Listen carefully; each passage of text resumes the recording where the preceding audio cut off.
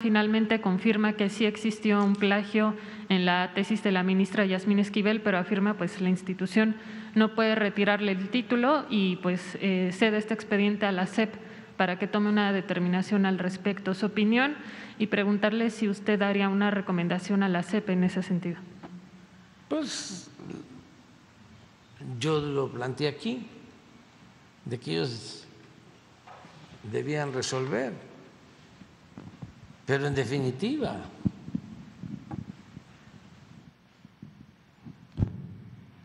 eh, su tribunal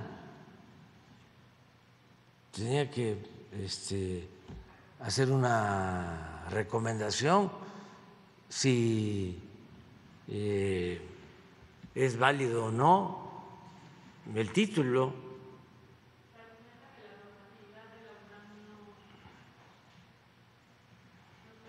Bueno, vamos a ver nosotros, ¿no? Este, se va a analizar. Este, sin duda, independientemente del hecho mismo, del plagio, eh, si se llevó a cabo o no, independientemente de todo, está este asunto muy eh, vinculado a la politiquería. Porque de cuando acá les importa tanto la ética a quienes se han dedicado a robar. No sabemos, o sea, eso este, la autoridad competente. Lo mejor es de que la UNAM diga, ¿sí o no? ¿Es válido su título o no es válido su título? ¿Eh? ¿Que sí es qué? Sí es plagio, pero lo que nos tiene que decir es que si es válido el título o no. Entonces, ahora lo que quiere es que seamos nosotros los que decidamos. O sea, este, pero no hay ningún problema, nosotros lo vamos a analizar. De lo que no tengo duda y lo que quiero aclarar es de que el conservadurismo que tienen como característica la hipocresía porque son muy corruptos, ahora enarbolan la bandera de la ética.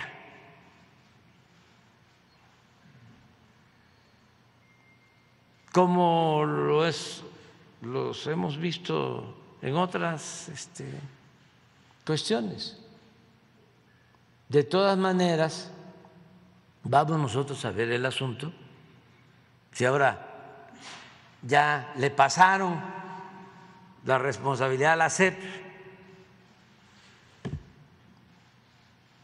O sea, la pregunta es, ¿no pudo la UNAM resolver?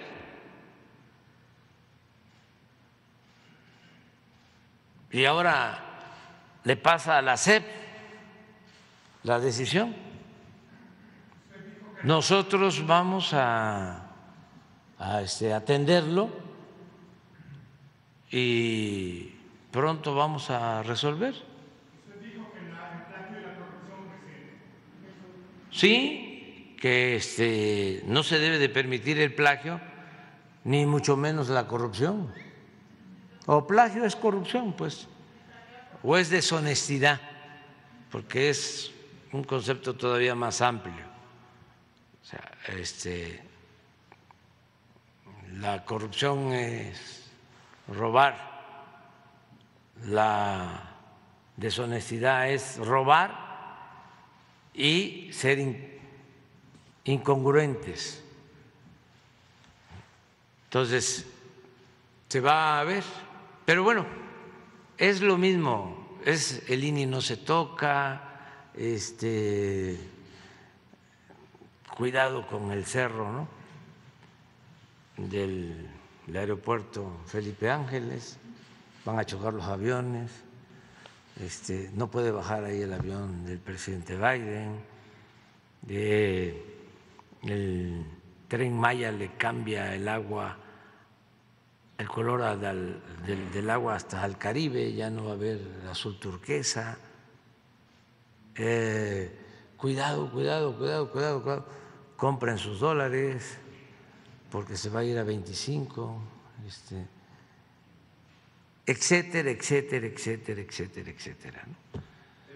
Este, cuidado con los este, rieles, porque están oxidados. Entonces, es lo mismo, de todas formas lo vamos a resolver aquí. Nada más déjenme que yo vea este, qué fue lo que resolvió la UNAM. Según me dicen, lo que están diciendo es, hubo plagio y este, no nos toca a nosotros eh, sancionar, sino a la SEP. Como Poncio Pilatos, el rector, se lavó las manos pero claro que está metido, ¿no? Hablando en plata, porque ya basta de simulación y de hipocresías, ¿no? Pero pronto, no sé si mañana o el lunes, yo creo que el lunes para que nos dé tiempo de ver legalmente, ¿no? Cómo está la situación pero no vamos a evadir. Sí tenemos responsabilidad eh, el actuar. Bueno.